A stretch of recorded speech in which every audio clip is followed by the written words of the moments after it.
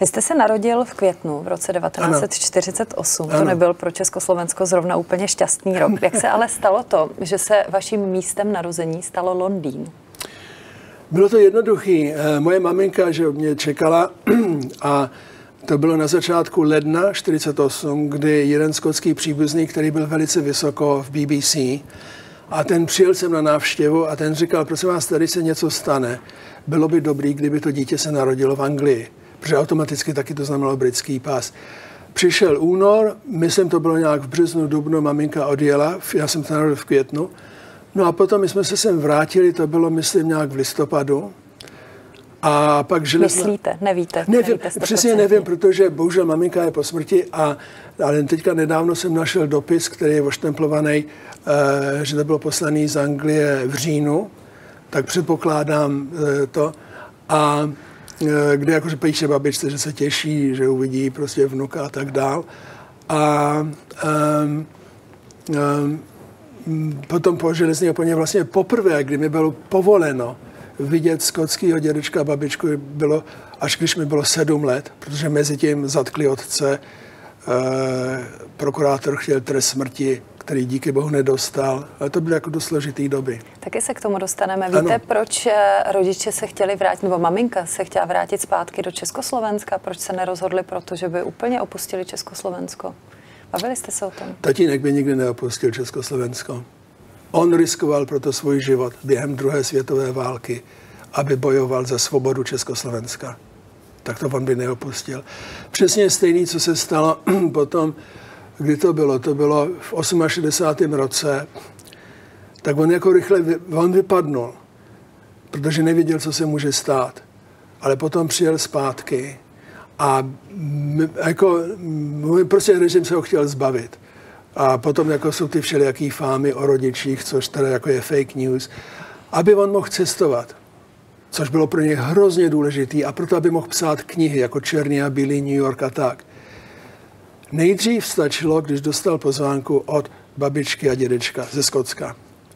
Pak, když já jsem vypadnul, a já jsem vypadnul, protože mě nebylo povolený jít na vysokou školu, protože můj kádrový profil byl k ničemu, tak potom stačilo pozvání ode mě. No ale potom, aby se ho zbavili, tak řeknu, tak prosím vás, syn, ne jenom manželka. A oni prostě doufali, že teda oni oba dva vypadnou. Nevypadli. Matka žila ve Skotsku, jsou fámy, že se rozváděli nebo to. Takhle, jako musím přiznat, že e, to manželství bylo zvláštní, ale já to jenom popisuju, jako v angličtině se říká radio hams. Oni prostě komunikovali v eteru. A na to nikdo, Kadlečíková, Plocková, e, všelijaký jiný ženský, Narážíte na to, že váš otec měl Mnoho, mimo manželské no ne, dítě. No ne, což je, je zajímavý, já jsem byl jediný, kdo o tom nevěděl. To jsem opravdu. se dočetla. No ne, opravdu. Eh, já jsem prostě, přile, otec zemřel, já jsem přiletěl a e, Vašek chytil můj příbuzný, říká, Johne, protože tam na Hračanech byl bordel, musím ti něco říct, jdem na kafe. Jdem na kafe, sedli jsme si, protože Marta chtěla hrát loutky. Jo.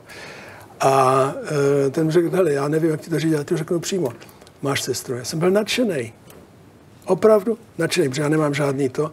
Moje žena, ta má, to je nejstarší, pak má bratra a dvě sestry. Pochází ze šlechtické rodiny, takže teďka její bratr dostal ten titul a pozemky. Ty holky dostaly nic. Sera je jako OK, ty druhý moc ne. No tak jsem řekl Vaškovi, chci se setkat s Mikinou, přišla na Hradčany, můžu tě nazvat sestro, jako takový prostě naivní.